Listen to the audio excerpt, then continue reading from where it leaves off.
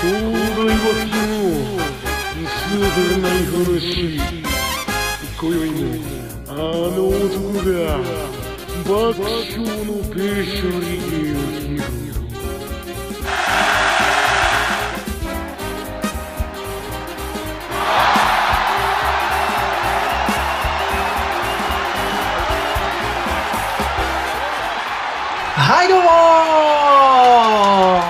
や牧野広大のおそらく滑らない話ということでね、えー第1回始まりましたけどよろしくお願いいたしますあのね僕がねあの千葉の実家に帰った時の話なんですけどあの実家っていうのは千葉にあって結構こう海も近いんですよそれでまあ、たまにはいいかなと思ってね、あの、実家のチワワをね、こう、3匹いるんですけど、連れて行こうということでですね、あのーその時は、2人連れてったんですよ。で、1人まあ体弱いんで、まあいっかなんつって。で、まあ久し久しぶりのね、海だったんで、いいかなっつって行ったんですけど、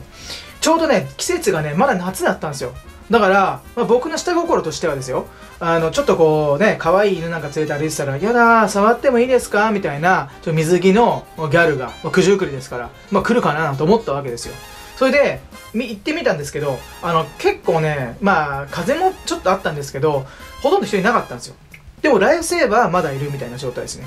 ああ、そっか、この時期だからまだライフセーバーいるんだなんて思って、それで、まあ、犬たちを下ろして、で、まあ、紐をね、リードを、まあ、最初つけてたんですけど、まあ、結構人もいないから、あのー離したんですよ。首輪とかを取って。で、バーって遊んでるうちに、まあ結構犬だからこう追っかけてくるわけですよ、チワワね。可愛いななんつって、どこ行っても追っかけてきて。あれもしかしたら、こう波の方とか行っても追っかけてくるかなと思ったら、ね浅瀬でね、パシャパシャパシャっつったら、まあ、来るわけですよ、後ろから。可愛いななんてね、思って遊んでて。で、ちょっと僕もいたずら心でね、調子乗ってあのーちょっとこう、なんでしょうね、足首よりちょっと上ぐらいのとこまで行ったりとかこうしてたんですけど、まあ、だんだんだんだんこうやってるうちにね、こう犬たちがこうもうびしょびしょに濡れて、で、僕もちょっとはしゃいできて、遊んでたんですけど、なんかたまにこう、時間帯にもいるけど、こう、ちょっと膝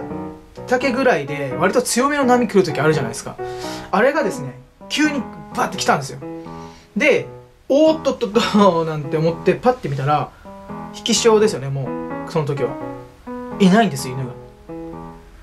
やっちゃったっていうかもう、大パニックです、一瞬で。どうしようと思って、で、も、必死の思いで探すんですけど、一匹は黒、一匹は白。あ、これ、どっちのこう波の中だから分かんないと思って、でもどんどんこう潮を引いていくんですよ。で、一人は、運動神経のいいあの黒い方は、割とすぐ見つかったんですよ。で、もう一匹なんですけど、もう運動神経からっきしなんですよ。で、吠えもしないし、もうね、多分ね、こう、そういう感情とかがあんまない子で、それはそれで可愛いんですけど、あの、特にこう、呼んだとて返事もしないし、あの、こっちに来るわけでもないんで、もうその、ね、広大な海っていうんですかね、海で、あの、もう見つかるわけないと思ったんですけど、もう必死にこう探したんですよ。で、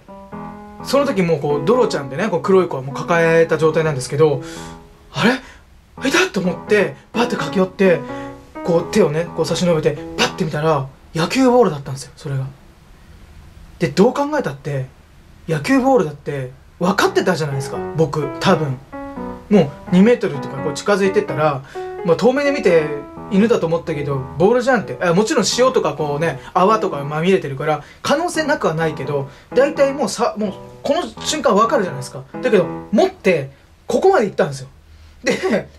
ボールじゃんってなってもうもうパニックですからいやもうどうしようどうしようどうしようってえー、もう帰れない帰れないってもうなんかいろんなこと想像してうちの父親に何て言われたら母親なんて言うんだろうとかも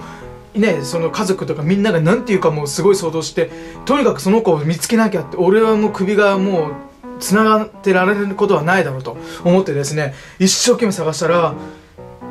あれってもうなんだろうなパッて見た時になんかこう足を伸ばした状態でこうやって水中を目も開いたまんまのねチワワのその犬が回ってるのが見えたんですよ。これもう一瞬で分かりました僕。これ死んじゃってるって。いやもうねこれはどうしたらいいんだろうって思ったけどもうそれよりも先に見つかったんでバッてこう手伸ばしてもうバッてこう見たんですよ。そしたら目開いてたじゃないですか。そのまんま何事もなかったかのようにこうはっはっはじゃないですけどもう本当にそのまんまこう回ってた時間を何も感じてないような感じで普通にこう接してたんですよ僕僕に。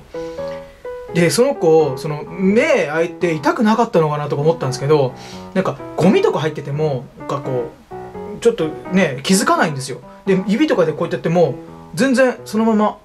目大きいじゃないですかチワワって全然何も感じないみたいでそれが功を奏したっていうか分かんないですけどあの息絶対できてなかったはずなのにはっはっとかないんですよ。普通にザバーはっはっはっはみたいな。笑ってる感じの。なんじゃこいつと思ったんですけど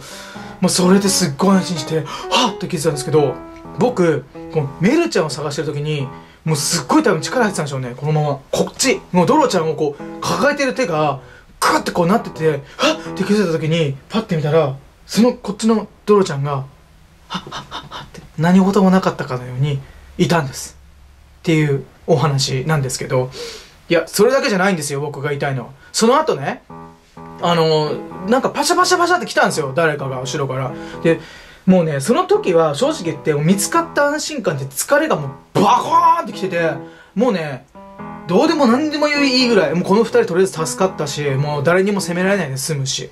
はあって思ってたらライフセーバーだったんですね。でなんだろう？っていうかよく考えたらいやライフセーバーしてないじゃんと思ったんですよ。俺だよ助けたの犬と思って。まあそれは俺の犬だからいいけどさ。俺に責任があるんだけど。バシャバシャと来てさ何言うのかなと思ったらさあの、すいません、今日花火大会があって、ここちょっとあの、いなくなってほしいんです。みたいなこと言われたんですよ。いやいやいやって。あのねここが例えばなんか私有地だとかって分かりますけど海の中ですよ。お前の海ちゃうやんけ！と思って。もうそれねそんな元気もないからはいはいって。でも帰りの車ももうこんな。もう犬も砂まみれだけど畑もせずにもう乗せてはってこうもうね疲労困憊ででも帰ったんですよ。でやっと実家に着いてマンションの下まで着いたんですけどもうね記憶が全部もう体力もないもんだから母親に電話してえいたんですけど家に。ちょっとごめんあの来てくんないちょっと下まで。つってでどうしたの？って言うからなんかね僕の声で察したんでしょうね何かあったことは。いやちょっとごめん来てもらっていいかなみたいな。で本当にすぐもうすぐのマンションが来て「どうしたの?」っつって来て「いや実はこういうことあったね」なんつって言ったら「いやそれはもう大変だったでしょう」って言ってまあ犬も結局お母さん洗ってくれて僕はそのままもう意気消沈チーン。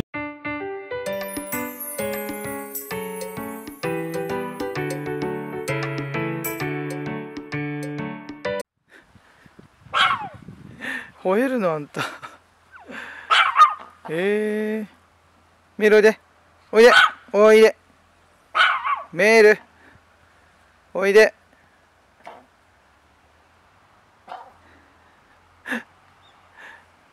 メールおいで。